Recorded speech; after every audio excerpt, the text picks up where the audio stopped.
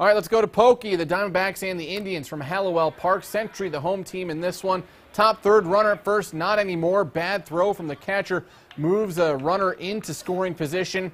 And then McCaden Beck singles to left field. That's enough to bring home a run. Indians take a 1 0 lead.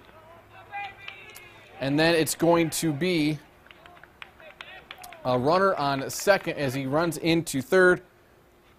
Century trying to get a run of their own, trying to do some damage of their own, but they can't do it.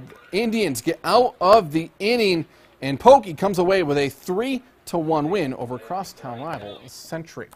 Okay, so game two of the Hillcrest Bonneville and Highland Skyline doubleheaders were both rained out. Hillcrest and Bonneville will play at 4:30 Thursday. No word yet on Highland Highland and Skyline's makeup date. Madison swept a doubleheader today with Idaho Falls and Rexburg 4 to 3 and 9 to nothing. To the softball field, Bonneville beats Century 9 to 2. Hillcrest defeats Preston 10-3. Pocatello and Blackfoot split a doubleheader in Bingham County. Blackfoot victorious in game 1.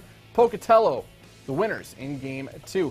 Finally, Snake River downs American Falls 11 to nothing.